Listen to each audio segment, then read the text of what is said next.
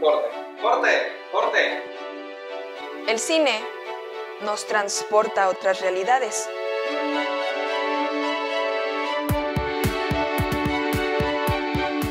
Tú y yo tenemos una cita aquí en corto.